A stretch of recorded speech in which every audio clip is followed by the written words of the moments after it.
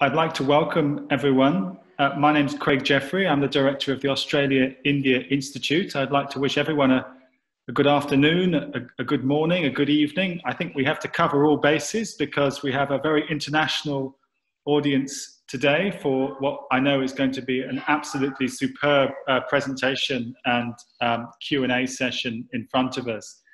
I'd like to start by acknowledging that many of us are meeting on the lands of the Wurundjeri people of the Kulin Nation, who've been custodians of this land for many thousands of years. I acknowledge and pay my respects to their elders, past, present, and emerging. I'd like to thank Dr. Dolly Kikon for conceiving of this afternoon's event and uh, giving us this wonderful opportunity to celebrate the work of Richard Grove. It's also an honor to be able to welcome to this event uh, Professor Mahesh Rangarajan, who's joining us from Delhi this afternoon. I'd also like to thank uh, Simone Traglia from the Australia India Institute for all her organizational help in arranging the, the Zoom today. I know that to some, extent, to, to some extent, events are much easier in the current climate of online events, but I know it's a, it's considerable work, so we're very grateful to the team at the Institute for, for all their work and Simone. I'd like now to hand over to my colleague, uh, Dr. Dolly Kikon, to chair today's event. Uh, but before I do so, I'd like to uh, say that uh, Dolly Kikon, who many of you will know, is a senior lecturer in anthropology and development studies at the University of Melbourne, and someone who conducts research on a wide range of, of issues, many of which intersect with the work of Richard Grove. So, particularly around topics such as the political economy of extractive resources, around migration, marginalization, gender relations, uh, food, and human rights, particularly in relation to India, but all topics that she discusses in ways that have much larger global implications for our understanding of a range of key social topics. So it's a delight to be able to welcome Dolly, who is also a senior research associate at the, at the, the AII, to, to chair today's session. Thanks. Thank you very much, Craig. Um, and I would like to take uh, this opportunity to invite a global audience right here to listen to Professor Mahesh Rangarajan for his lecture titled Empire, State and Nature, Richard Grove's Remarkable Legacy of Environmental History. Mahesh Rangarajan teaches history and environmental studies at Ashoka University, Sonipat, Haryana in India he was educated in the universities of Delhi and Oxford and was a Rhodes Scholar. The demise of Professor Richard Grove in June 2020 brought to an untimely end a remarkable life. Even before the publication of his magnum opus, Green Imperialism, a quarter century ago, he had made a mark as a scholar with rare ability to synthesize across time, periods, continents, and disciplines if the challenge of history writing is in linking the past and present with eye to the future, he was clearly a scholar that stood out. I would like to take this time to invite Mahesh to give his speech, but perhaps I also want to give a personal introduction outside of a paper introduction that says that Mahesh is a professor. He is one of India's leading thinker an intellectual uh, public voice in the realm of looking at citizenship and wildlife. Mahesh has been a visionary in teaching us as students and as young scholars to look at the environment not only as people-centered, but as being-centered. And for me, as an anthropologist working in India, his work has spoken to me at various levels. His work as part of the Tiger Force in India and the Elephant Task Force has been a guiding light for many of us. Mahesh is always visible in the public sphere in India, but for me, at the heart of it, he's a teacher. He's a teacher that connects with students at every level, from high school to undergrad, at the level of research, to some of the world's most renowned historians. And yet I have seen him in public spaces and the way he connects with the audience. is both magnetic and humbling. This morning I was talking to a student in India and I said Professor Mahesh Rangarajan is giving a talk at the Australia India Institute here in Melbourne. And the student said, oh, I know him. He's always sending us materials to read. And that is the power of a teacher, a visionary, and a public intellectual from India. And it is truly an honor to actually have Mahesh today to talk to us about the legacy of Professor Richard Grove. To give you all a run down of the program, we have Mahesh's lecture that will go on for 25 minutes, and we have Q&A session. Mahesh has agreed to take questions that you put on the chat box. Uh, Simon and I will be helping him in case he misses some of the important questions. But without much delay, Mahesh, such a pleasure and an honor to have you here at the Australia India Institute. The time is yours. Thank you, Dolly. Uh, very uh, embarrassing uh, introduction and uh, much of what you say about Richard is accurate and I think about me vastly exaggerated. But uh, it's a great privilege, uh, particularly because this is the first memorial for Richard being hosted in Australia. And in fitness, it's the place which gave him a very important post at the Australian National University. Uh, the first full chair he ever held. Uh, he had a very remarkable life which came to an end in June 2020 and uh, perhaps many of you know that he met with, a, with an accident late in 2006. And in these last 14 years, he fought a very brave battle. But his own direct intellectual productivity, in a sense, had come to an end. Those who visited him would regale us with stories of if they said a book he liked, he'd say thumbs up. And if they said a book he didn't agree with, there wouldn't be a sign, so to speak, a thumbs down.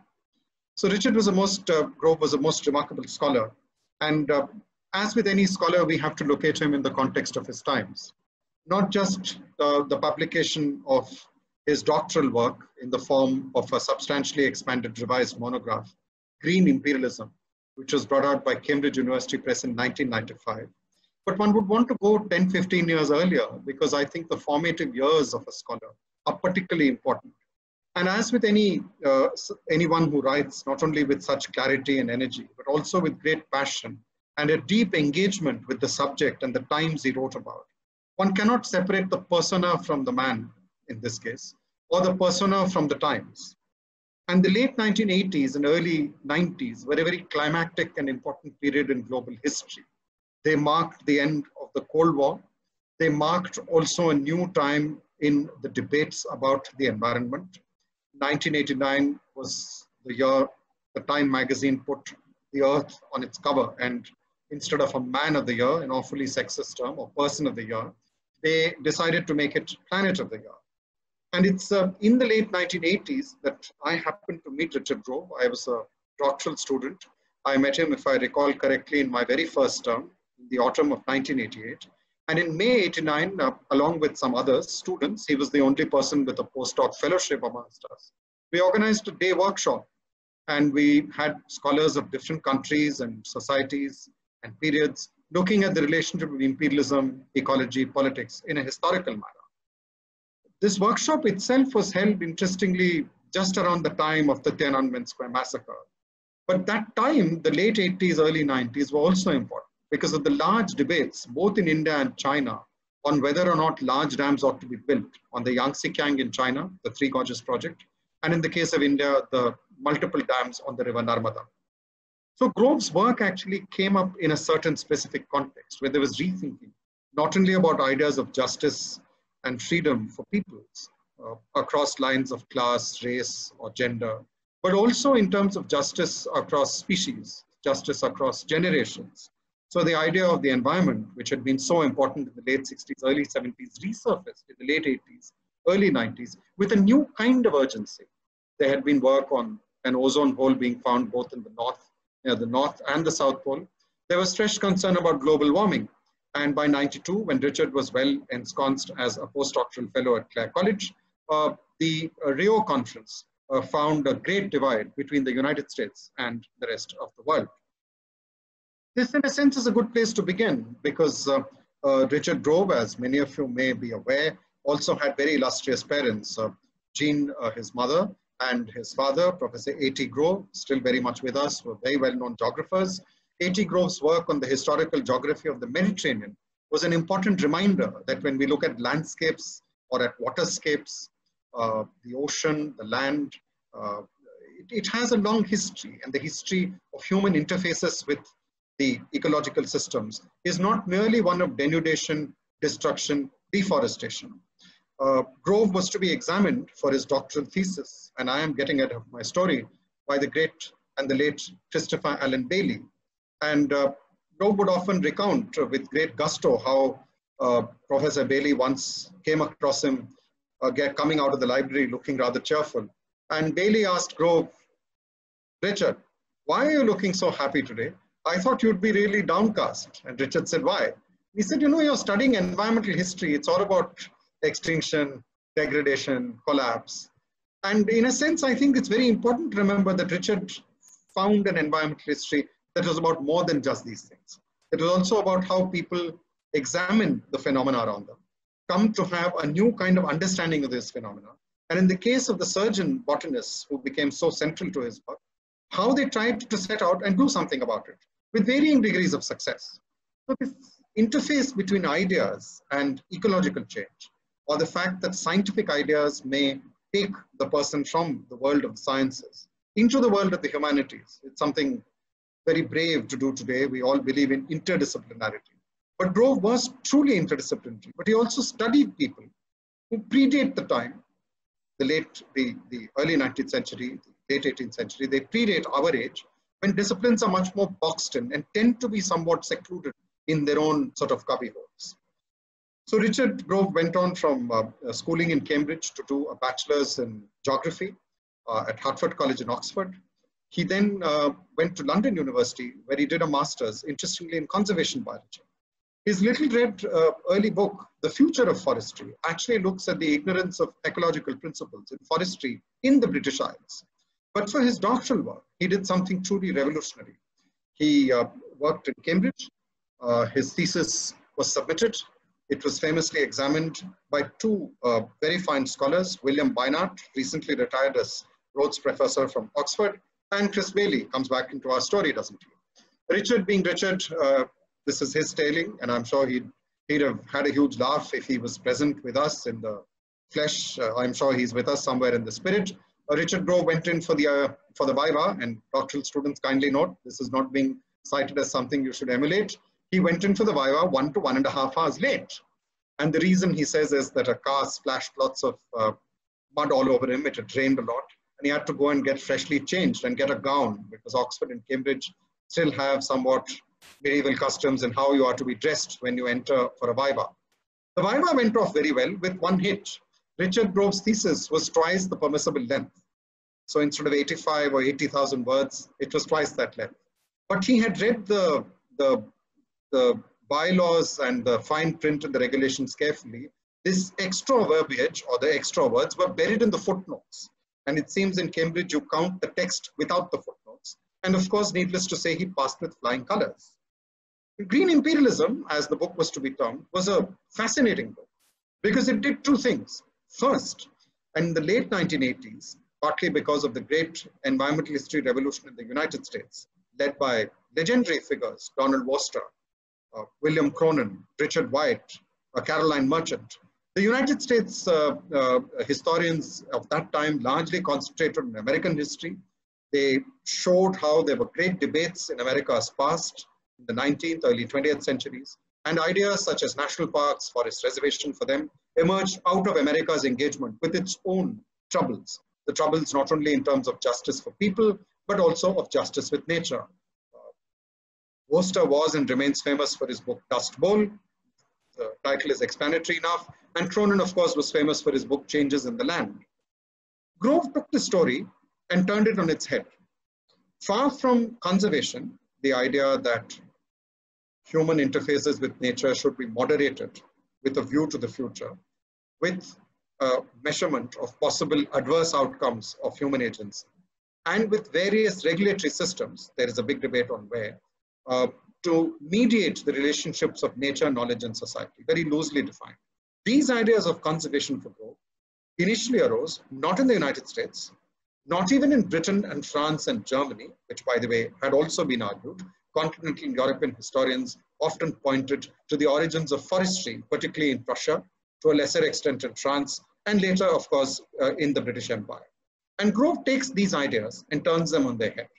To do this, he had something remarkable in his armory. In the old days, there was, an, there was an age, believe me, people younger than 25, there was an age before the internet, before you could get old journals at the click of, uh, of the mouse, and you had to actually go and find them. And Grove discovered a remarkable secret of Cambridge. There were two floors full of old journals. And these journals, the journals of the ARBO, of the Horticulture Society of India, the Madras uh, Literary Gazette, the Madras Journal of Literature and Science, and several other such magazines and journals in the early 19th century, he found, were full of articles and papers. Who was writing these papers? The Grove takes us to a moment when colonial expansion brought into Dutch, French, and British, British possession islands in the South Atlantic and in the Indian Ocean. Some of these islands are well known to us. St. Helena in the South Atlantic, where Napoleon would spend his lonely years of exile after his defeat at Waterloo. Uh, Mauritius and Reunion in the Indian Ocean, which were French and later British colonies.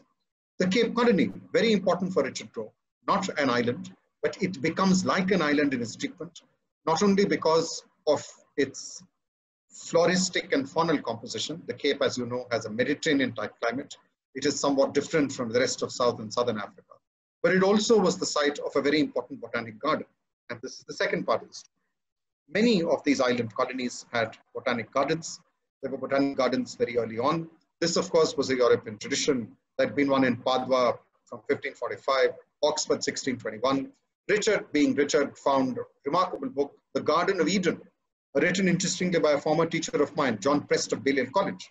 Simply put, this book argued that once Columbus discovered the Garden of Eden and Europeans came to this rather disappointing conclusion that the Garden of Eden did not exist. This, they decided to try and create a garden uh, where they could. They put lots of exotic plants into a place and model it like what they thought the Garden of Eden was. Well, Grove took Professor Prest's argument a step further. He looked at the Botanical Garden of Cape Town, 1694, uh, the establishment of the uh, French uh, Botanical Garden in a place whose name I won't even try to pronounce in Mauritius, and most important, the British uh, or the English in St. Vincent, 1764. These botanical gardens had botanists in charge, and many of these botanists were men, there weren't any women, who spanned and synthesized several branches of knowledge. Some would be very fascinating. Robert Kyd in Kolkata would set out on the search for Dhaka cotton, which he thought would revolutionize the economy.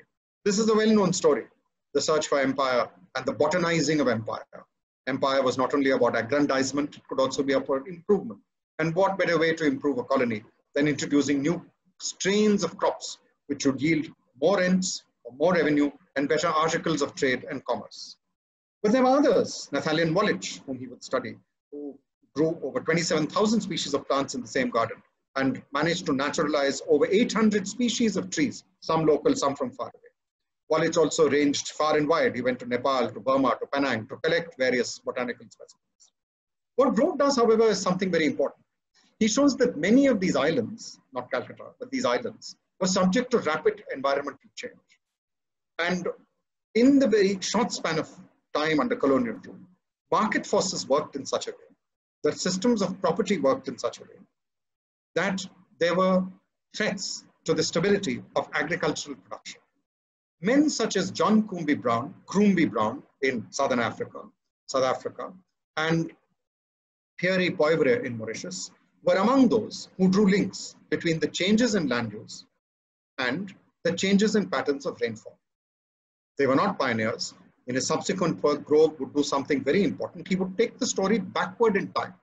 He would examine, for instance, how there were ideas of circulation of blood, Harvey, which were then applied to the circulation of water. So the water cycle becomes important.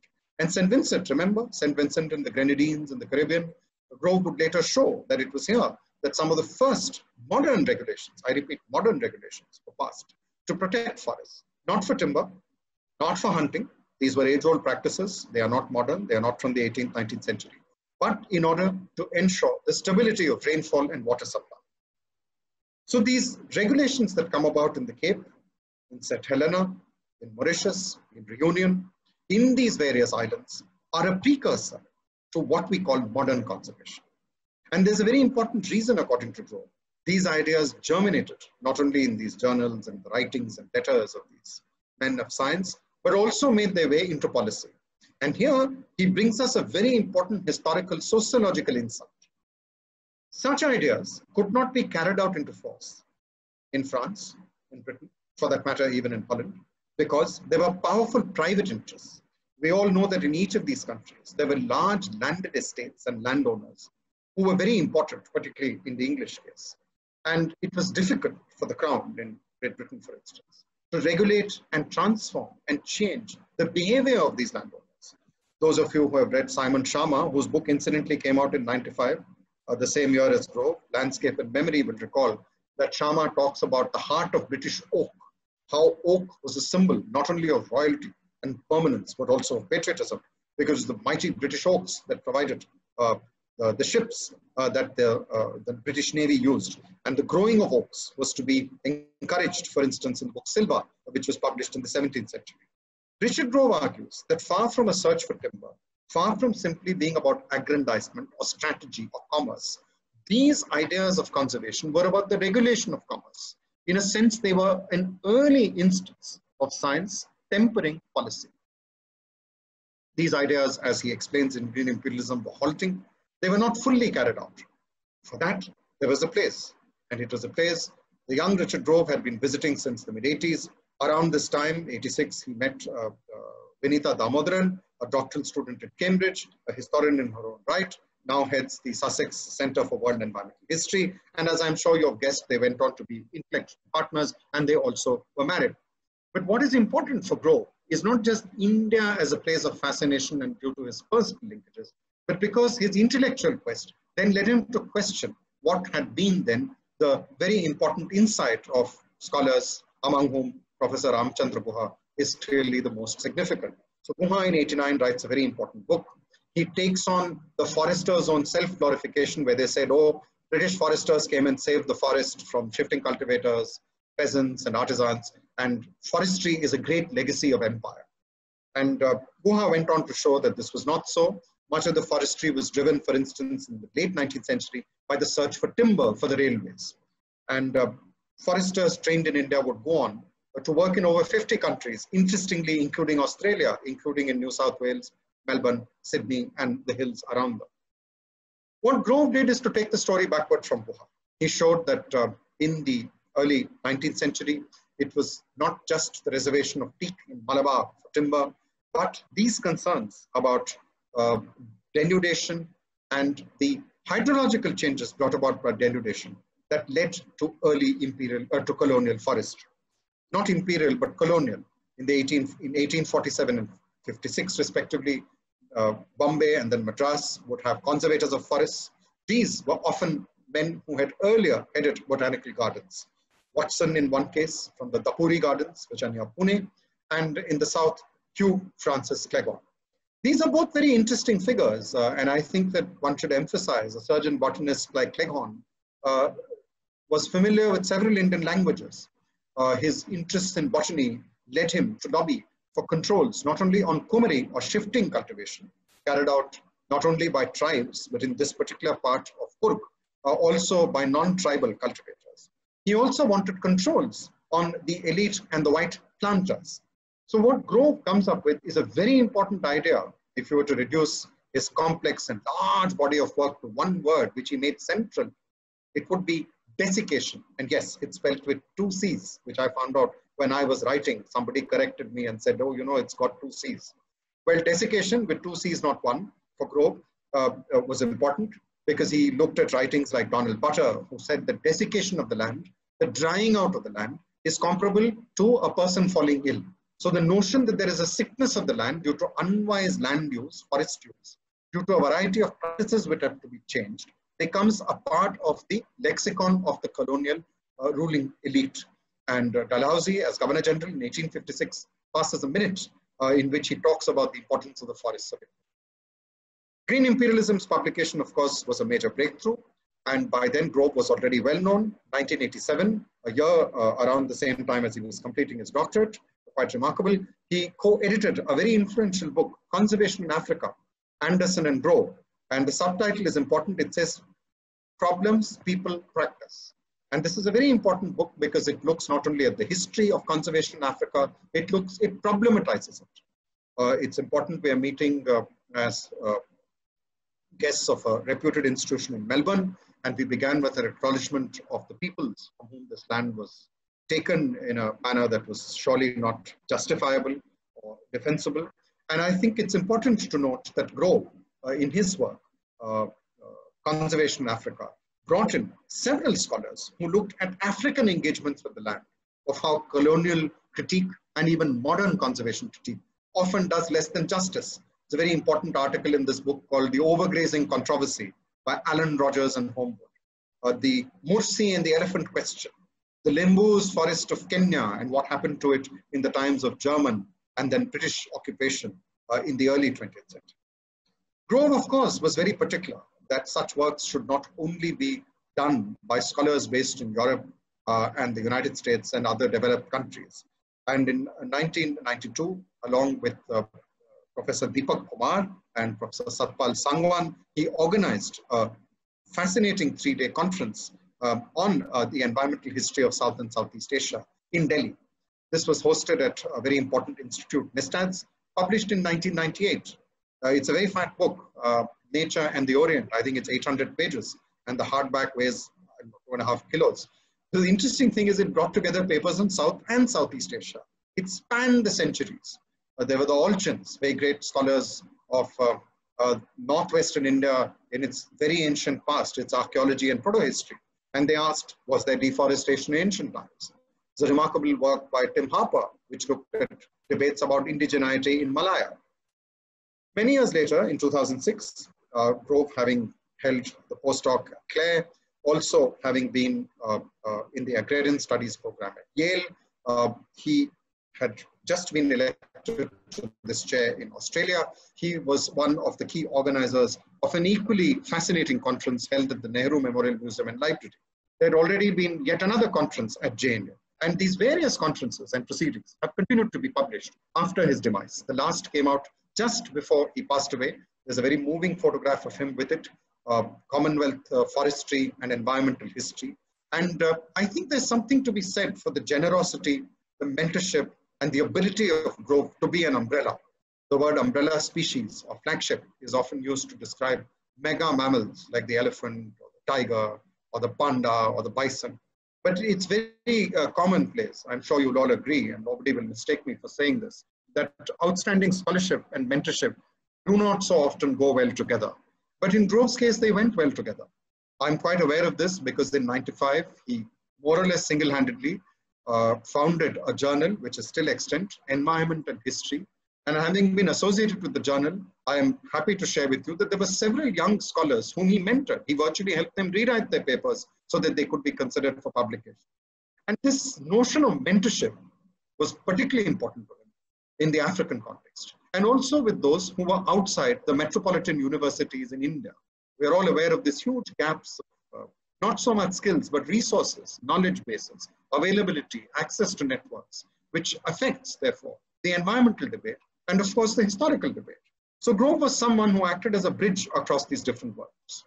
Most important, and I think we need to uh, make this perhaps the last point because we'll soon run out of time, was his attention to the global nature of environmental phenomena. There's a lot of work on the ecological phenomena which unify the world.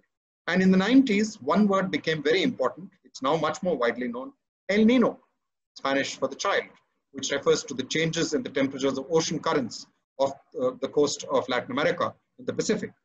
Well, in the late 90s, Grove co-authored a book uh, which looked at El Nino and it examined its impact over the centuries, not only on the ecologies, but its implications for socio-economic, political, um, and cultural changes in South and Southeast Asia. Grove is a, remarkable scholar. He had published in Nature, he had published in Scientific American, and in this sense, I think he was anticipating something we take for granted in our own age.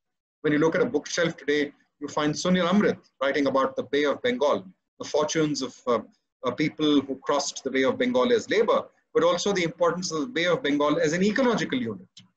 We think of the work of Thomas Trautmann, who looks at elephants and kings and the ways in which in the ancient world, 6th century BC, till around 150 years ago, war elephants were very critical in South and Southeast Asia, so critical that states invested in their protection, thereby perhaps facilitating their survival for strategic reasons.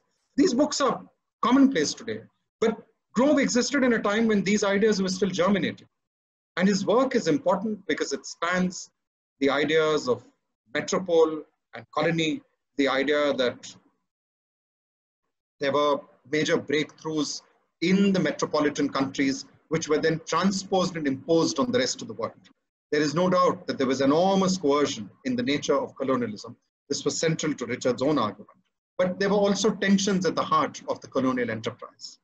Uh, it's significant that a few years ago we lost uh, Grove's examiner, uh, the Cambridge examiner, uh, Chris Bayly, because Chris Bayly's three works, ending with reframing of the world, reframing the world in the 20th century, made broadly this point that there may be a parallel evolution across the world, and we should perhaps not see the colonies simply as an experimental place for those going out from Europe, but look at them as entities in their own right. And in this sense, I think Grove drove us to consider the fact that we may be looking at a history that is interconnected in more ways than we may be prepared for. Second, and I think it's very important, uh, somewhat neglected part of his work was on patterns of resistance and on hidden voices. So the Hortus Malabaricus, a very important Dutch text, uh, 12 volumes, by the way. You must look at it sometime just for the illustrations. And Grove, uh, in his 98 paper, showed that a lot of Hortus Malabaricus owed not only to its author, Van Rheede, but also to the um, uh, uh, Irava botanists uh, who spoke Malayalam and several other languages, who knew much more about the plants. So they were not just native informants, they were also involved in some way in the distillation and uh, preparation of knowledge, though of course as subordinate and unequal partners. One of his more neglected papers was on uh, colonial ecological hegemony and various forms of resistance. And this is a theme I'm sure he would have liked to develop. Unfortunately, the fates are not in our hands, and one must acknowledge that these last 14 years were a time of great difficulty, both for him and his family. And perhaps it is significant that his work is so powerful that this is perhaps uh, that, that it will it will long outlive scholarship, after all, is about the world of ideas.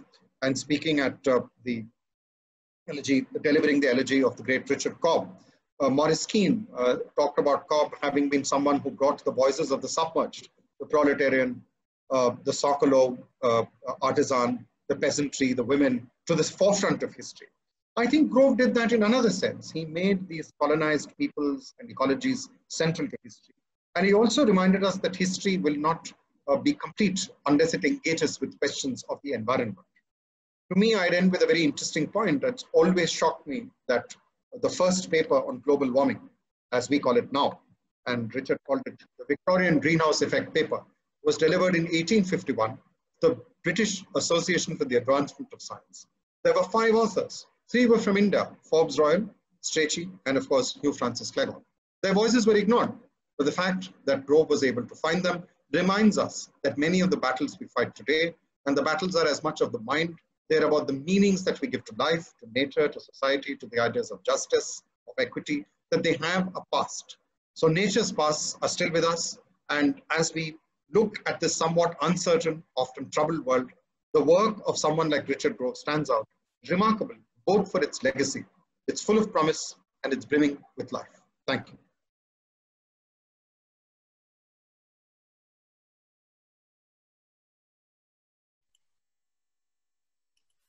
Dolly, would you like to say something or do you want me to take questions? Um, so, uh, thank you, Mahesh. Thank you so much. I think I think you should take questions. Yes, we would love to see how you interact with the audience. Sure. Thank you. So I request people to type questions in the chat box and if I can read them out or acknowledge them, if I fall short, I'm sure Dolly will be happy to know.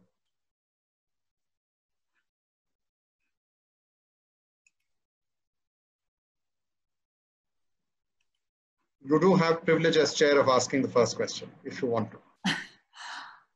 I Mahesh, I, I will take the I will take the privilege as, as you you point out. I am very um, in a way I think very um, interested to see how the the work that you focused on Richard Grove and his idea about mentoring and teaching and his ability to connect across regional universities and also the, the central hubs of universities. Um, can you tell us something about perhaps more about his engagement with, with regional colleges and institutions in India and how that shaped some of the engaging, I think, um, visible conversations. And I, I say that as somebody, of course, who works on Northeast. And I've seen you many times in Assam, in Shillong, across the Northeast, in some of the smallest colleges. And, and I, I see that that in itself, mentoring and the scholarship is such an important um, practice. And I see that in Richard Grove's life and also in your life, I would say that with, uh, with confidence. So can you share something about this? I, think that, you know, this had a flip side. Grove was uh, very particular about bringing in uh, a range of people. He was very tireless. If he found someone interested in environmental history, he'd go and hunt them down. And, uh, you know, when, when you meet 10 people, all, all are not of equal potential. Uh, some have realized their potential, some haven't realized it, some are still scratching around trying to find a way. And he had remarkable patience.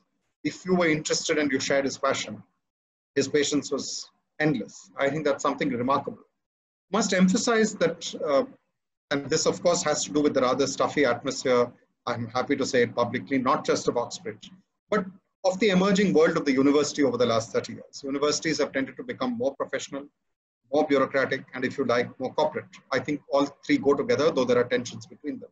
And Grove never fitted into these. He was famous. I've been an organizer of a seminar where, believe me, he turned up one hour late. And it, there, there was a very, very serious reason. There had been a family tragedy and he, had, he was delayed by that. He then proceeded to give a remarkable lecture. And he spoke for, you know, 90 minutes without notes.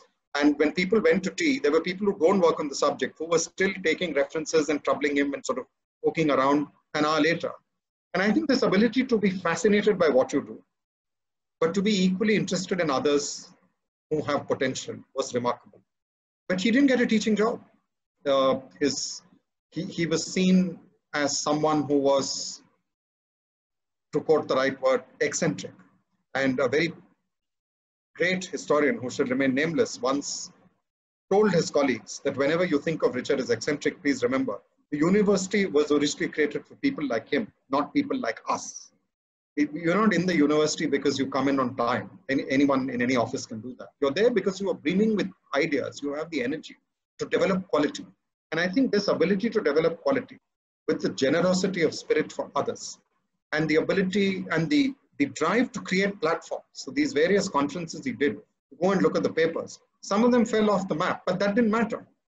What mattered is that the people who presented the papers managed to interact, to meet other people, and they went back richer and stronger. And you can never tell who has the potential to be a long distance runner. It's always full of surprises we have Arup, and then I think we have quite a lot of questions for you. So Mahesh, ah, go ahead. Right, I can't answer all the questions, but I, yes, there is, I think, Mira who asks about Grove's analysis of native informants. Kapil Raj has critiqued it. How do you see the term? Guha and Gadgil questions colonialism as marker of the beginning of environmental history. Yes, of course, the issue of native informant is deeply problematic. I doubt anyone would use it today.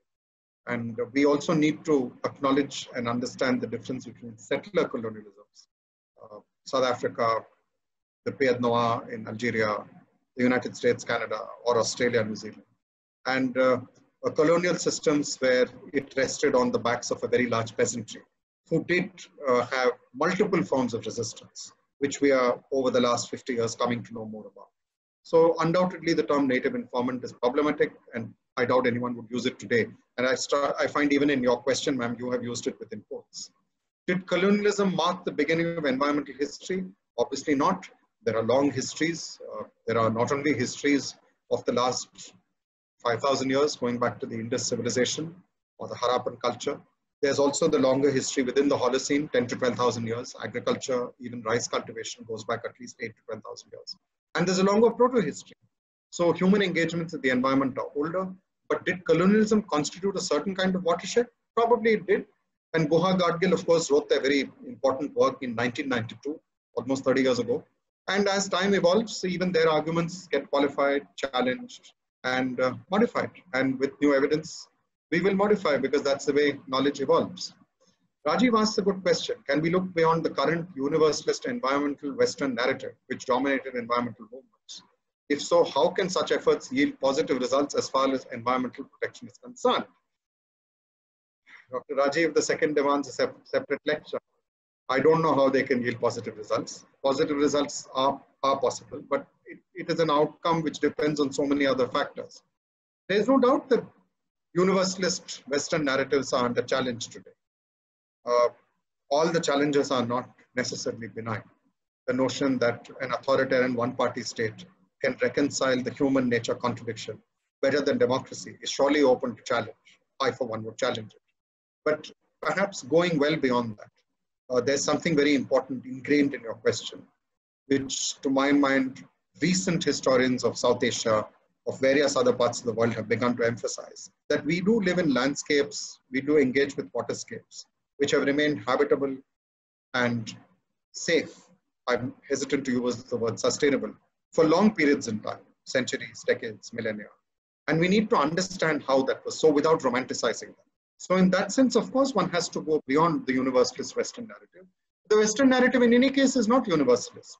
If you see a very fine popular book, 1493 by Charles C. Mann, it's a remarkable man. He's a journalist. He sits and reads lots of books and he writes a gripping narrative.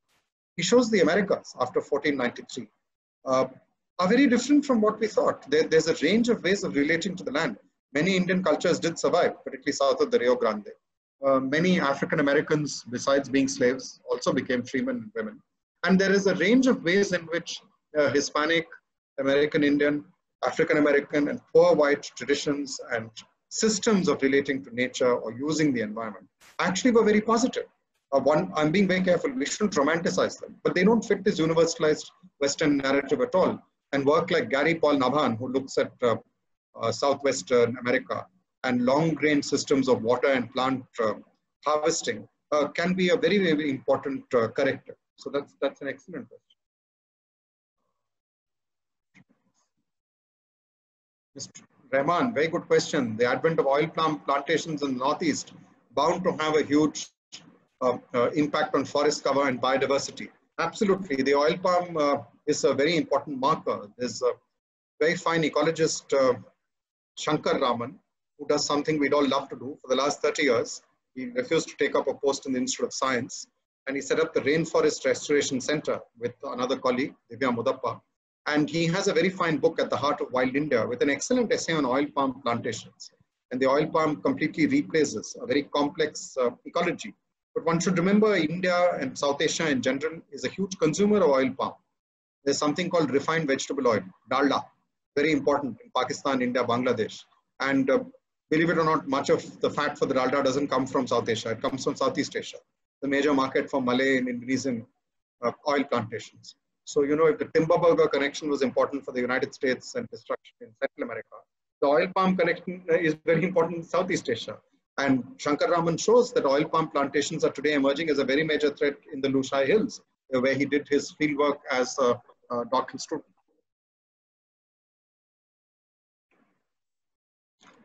Dolly, you're welcome. I'm trying to. Please, uh, Arup just had a question on. Yes, please go. Yes. So yeah. I haven't located him yet. So ah, Grove had drawn our attention to the world of science and the techniques and methods to empower the discipline of environmental history. Would you like to throw more light on that? I think that's a very good question. And uh, there's a lot of transformations in science over the last 30 odd years. You see the work of John Richards, uh, John Richards has this remarkable book, The World Hunt, where he tells us about whaling, 1500 to 1800. And Richards draws on a lot of contemporary work on whale societies, whale sociology, whale communication, and how to estimate whale numbers. And this may be especially true uh, in uh, the work of archaeologists and archaeological anthropologists. The work which comes to my mind is Kathy Morrison. Morrison reminds us there's a long 3,000 year history of human use of the Indus, Ganga, and the southern uh, river systems. And some phenomena we think of denudation, deforestation, soil erosion, overgrazing. They have counterparts earlier, but she also shows with the study of material remains that people also renatured landscapes and they kept them productive. So it was not all collapse. So definitely there needs to be much more of a dialogue of the humanistic sciences, including history, with the environmental sciences. And uh, this is not an easy dialogue. Uh, Professor own work, The Unquiet River, is the landmark because it uh, begins with the history of the Brahmaputra over the last several thousands of years. So we are in landscapes which have gone through large changes over time, and all of them were not human caused. And that also should create some sense of humility in those who study the modern period. I have, I'm in a department with uh, two, three very fine archaeological historians, and they keep saying, you know, you guys use the word pre-modern for centuries and millennia, and should you not stop using it? And I think that's a fair comment. So I think the environmental sciences are very important for that, among, among other things. Mahesh, there's a question by Aditya. I think you haven't taken that about Groves Insight as an activist in this. I'm trying to look for it because, ah, Aditya Ramesh. Where are Groves' insights as an activist in all this? Groves' work is useful in thinking about climate, forests, and desiccation. It'd be lovely to see a resurgence in environmental history in Indian colleges. I know less of his uh, life as an activist than I should. He was very uh, active within uh, Britain. Uh, he had a deep attachment to the Wytham Woods. In fact, uh, Wytham Woods, of course, got protected because it was a scientific site. Uh, a lot of the work on the badger, very famous book, animal in, in British lore, thanks to Beatrix Potter, was done in Wytham Woods. And uh, Richard was quite vocal about environmental changes in England, and he built links with a lot of activists. I don't think it's fair to call him directly an activist, but then changing the world is also about the world of ideas, and he was definitely connected with them. We have a question by Peter, and then we'll go to uh, Haripriya Rangan, uh, Professor sure. Rangan, who wants to ask you a question in person. So after Peter, we'll unmute you. Sure, I'm trying to find Peter. Peter McPhee, as a historian of France, my understanding of environmental history owes much to Richard's brilliant work on Pierre Poivre. I feel he neglected somewhat the deep popular knowledge among peasants of the impact, for instance, of deforestation. They do not always need to learn about the environment from their social betters.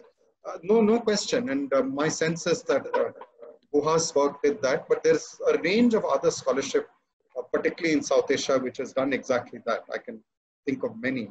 And, uh, you know, Sanjukta uh, work on the Adivasis and the Raj on the Hos, which Richard was familiar with. No question at all. But Richard was a, a historian with his particular niche. And I think he opened it up in a way very few people have. Uh, these ideas of peasant, artisan, herder, fisher, uh, centered, anthropologically informed histories actually have very wide currency. In fact, while we were, I was reading, I was reminded of two books I'm discussing now with students, Ajantha Subramanian's Shorelines, which looks at the Kanyakumari fishers and their ability to negotiate democratic spaces and the role of ecology in that. An equally important book by a recently celebrated and awarded historian, young Anand Pandian, Cultivating Virtue, where he looks at the Kalars and their transition from being a so-called criminal tribe to becoming rice cultivators. These are very particular, in fact, largely positive stories. There are several others with other outcomes. But I, I, I'd be with you. I think that peasant and producer knowledges, I'd use the word peasant in a broad sense. One could use it for people living on land and. And perhaps for other kinds of producers, uh, the labor history is something we, we were not looking at earlier. And there's a book coming out by Anand Vaidya where he looks at Dalit Adivasi conceptions of the forest, in which labor is very central. So he unpacks even the notion of the peasant. So I think, uh, Dr. McPhee, that's a very, very valid observation. Thank you. Dr. Yeah. Professor Rangan had a question. Um, hi, uh, can you hear me? Yes. Oh, great. Thanks so much, Mahesh and Dolly, for taking the question. Mahesh, wonderful uh, talk. Um, I just wanted you to reflect on an interesting contradiction that Richard Grove raises in green, green imperialism. You know, you can almost not even notice it, but um, but you see, uh, you pointed to the issue of of of of the colonial sort of doctor uh, conservationist people, so looking at the islands as an issue of where, you know, um, uh, there's a lot of degradation um, due to the um, due to the introduction of plantations um, for colonial profit. So they are um, they're simultaneously raising concerns about conservation. But one of the interesting contradictions that emerges is when because so much of contemporary biodiversity um, thinking is really drawn on this sort of metaphor of islands, mm. islands of biodiversity. Whereas mm. islands, if you think about it, have always been places, hubs of exchange in, in some of these places, the Indian Ocean. So, from my perspective as an Indian Ocean sort of environmental history person, I find it fascinating that that this this uh, this idea of conservation and biodiversity is always kind of somehow about conservation, you know, in, dominated by an island metaphor, mm. Mm. and that in reality, um, mm. people have moved around and, in a sense, you know, had to ha- have transformed landscapes. So mm. conservation has this this baggage from that time, which actually makes makes it quite difficult to do biodiversity with the dynamism of, of change and people and so on. So I was wondering your what you thought about it. No, that's a very astute comment. In fact, uh, some years ago, a group of us had done a book called Shifting Ground, which critiqued this model of conservation arguing that the parks based model, which has had important contributions, we are not arguing there shouldn't be parks, but that it ignored that parks cannot be secluded ecologically. So the movement of animals, birds, even plants, uh, the prevailing winds, water, pollutants, etc. We also argued that they cannot be secluded culturally and economically. Uh, there are peoples living within them, there are peoples who cross the borders, and so on. Uh, but I think there's a deeper reason for this, which uh, I must say, it's very, very, very astute question. If you see the work of uh, very important book, you know, Song of the Dodo by Quammen, uh, it is the 70s and late 60s that uh, MacArthur and Wilson really get going. And as we know, the MacArthur died young, God bless his soul, and Wilson is still very much with us in Harvard. And MacArthur and Wilson argued that you can calculate the decline of biodiversity by looking at an island they famously did something, they, they killed all the insects on an island, kept counting how many insects were there. And they argued that if you halve the area, the proportion of species that vanishes is more than half. So this island theory of biogeography, the exact opposite of the Grove idea. For Grove, it is what you're saying. It's a place of confluence of ideas. And there is an attempt to moderate and mediate these changes. To be fair, these surgeon botanists, they were, they were working for the for the company quality. They were not saying wind up the company, go home, get rid of the plantation. They were trying to mediate these changes, right? But I think the MacArthur Wilson argument gives a very powerful scientific rationale for hands-off parks, for more parks and larger parks. You know, there's the debate between the large and small parks, in which their theory is naturally oriented towards the large parks. I'm not getting in whether they're right or wrong. I don't have the qualification. So I think it's a very astute observation. And conservation by its very nature, uh, has over the times also got a conservative, uh, strong conservative dimension to the way it's practiced. And the notion that you can seclude an area, freeze it in time, appeals to those in power. And here you're giving a scientific rationale. I think Grove is slightly different, or rather the people he's studying are slightly different in one respect, if I may say so. They are arguing that this regulation is a matter of survival. You know, there was a paper of his he never published. I've only seen it. I, maybe it's there in his in his works. It's called Surgeons, Forests, and Famine. Lovely hmm. title. Surgeons, Forests, and Famine. Protect the forest to avoid famine. And the famine comes for a variety of reasons. But one of the reasons is that you didn't listen to the surgeons on the protection of the forest for the health of the land. So a notion that there is this larger interest of economic political stability and for priming the pump you need to do this. It's a physiocratic idea. I think there's a difference uh, today, and the difference really, very starkly, is that this conservation biology has become a very powerful force And unfortunately, much of conservation biology doesn't even begin to acknowledge uh, this fact of fluidity, both ecologically and socioculturally. I think it's begun, but I'm sure it's a minority view in that very important tribe. Thank you. Thanks. Thank you so much, Mahesh, and thank you to this wonderful audience uh, for coming and joining us at the Australia India Institute to honor the legacy of Richard Grove and to listen to Professor Mahesh Rangarajan's talk, what it means to be a mentor, what it means to be a visionary.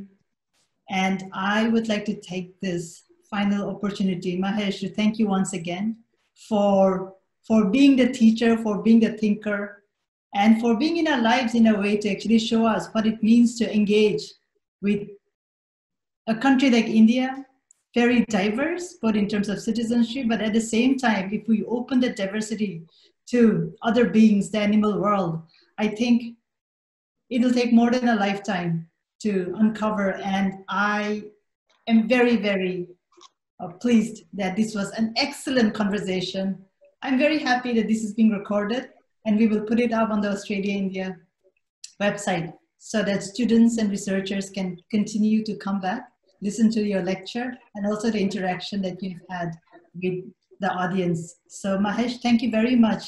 My privilege. Thank you. Thank you. Thank you. Have a really wonderful day in India. Thank you.